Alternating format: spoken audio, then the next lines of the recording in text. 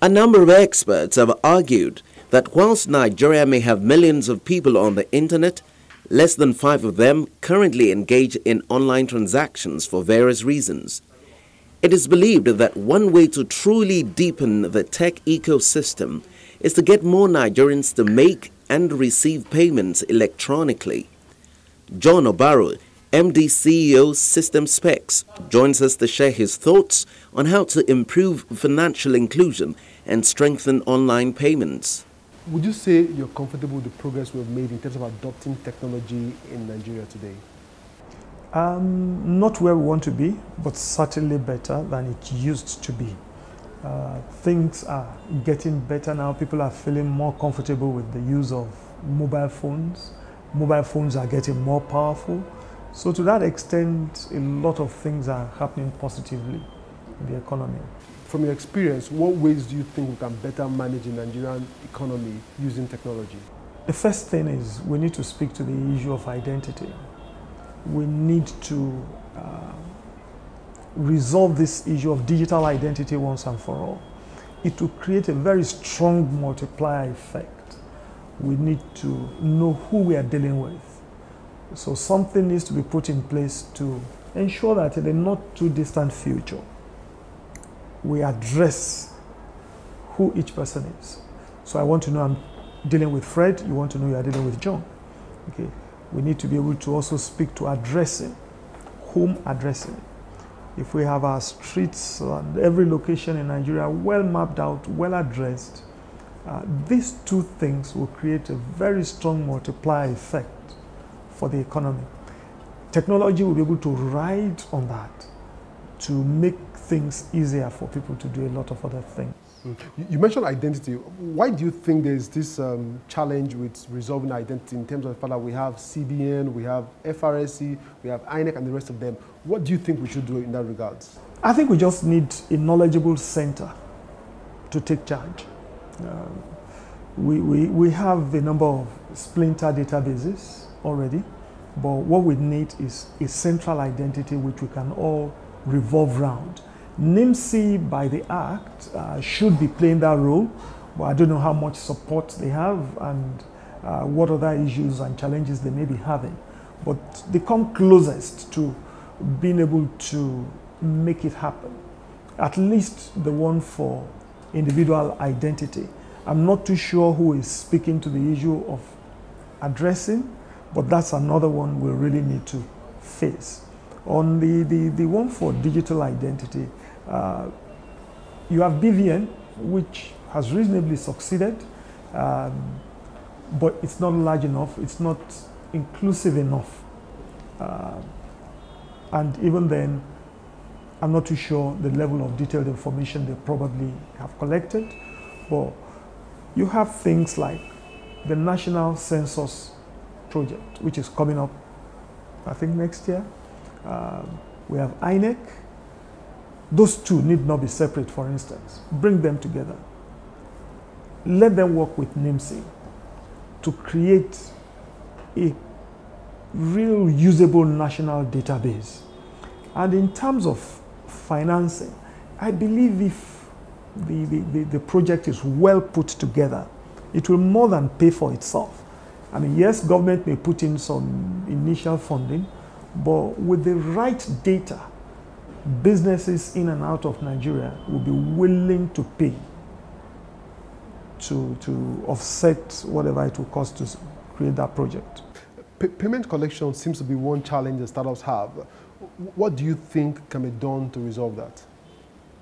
Well, I'm not too sure if that is as bad as it used to be, because now you have a number of um, payment firms that have come up. And um, I can also speak for Remita, for instance. Remita, we can connect with any startup.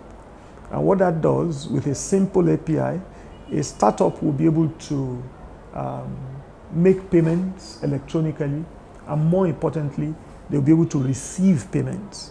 And with this single connection to Remita, they have multiple channels by which they can receive funds. Their customers will be able to pay them using cards. Their customers will be able to pay from their accounts directly. Their customers will be able to pay on POSs if they are near them or at designated points.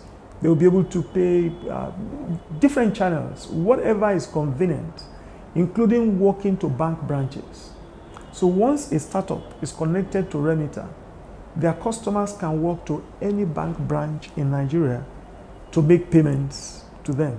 And this would immediately you know, reflect in their uh, books and reports. What's your impression of the startup ecosystem today? Are you satisfied with the level of progress being made?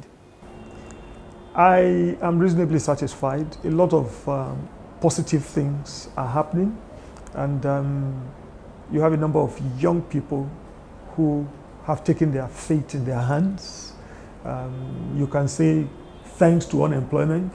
So many of them are now doing things that are coming out positive. We have a number of them come visit, and I'm amazed at the kind of ideas that some of our young people are coming up with. And the more interesting thing is that a good number of them did not study computer science, okay, or any related discipline. They just took an interest. So you, you can see that creative mind being unleashed. Uh, uh, so I see a bright future for Nigeria in that respect. Okay, so let's talk about user education. Um, are you okay with the fact that um, Nigerians sort of sometimes have issues using their electronic payment systems. Are you okay with the level of user education? In terms of user education, the challenge for us in the industry is to keep making the systems easier and simpler to use such that the need for education in itself will continue to reduce. I mean, um, part of the challenge we faced, for instance, when we were uh, doing the TSA, initiating, the, starting off the, the TSA program, was the realization that, look, you're going to have people in remote areas, in a number of places, who would not um, have had the privilege of a formal training on how to use the platform. So we had to create something that would make it easy for an, a ministry, department, or agency uh, to onboard easily and be able to make their payments on the platform and also make it easy for customers who want to pay government to be able to make those payments without necessarily going through formal trainings. And these are some of the things which you now have to begin to uh, sort of diffuse through the economy that more and more organizations using these platforms to make their payments, to receive payments, more and more individuals feeling comfortable to use their mobile phone um, for practice. Finally, how can we ensure that Nigerian solutions are actually exported to other parts of Africa and the rest of the world? Well, the first thing is um, we need to even believe in ourselves. Um, Nigeria is a fertile ground. You have about 180 million people, different ideas.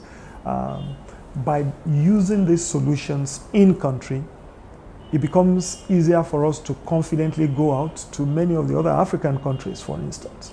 Because once it has worked in Nigeria, uh, you, you, the, the, challenges you meet in the other places are relatively a piece of cake. So I want to encourage Nigerians, use made in Nigeria, okay?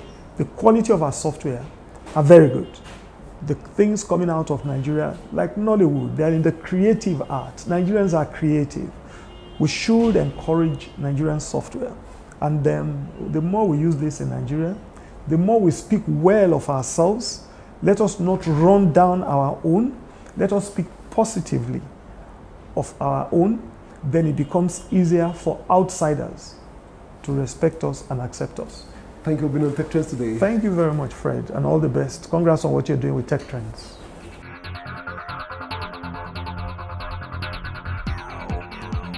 That's it for our show today. Please follow us on social media and you can watch these and previous editions of the show on the Channels TV YouTube account or via my blog cfatech.ng. For Tech Trends, I am Chukwuemeka Agbata.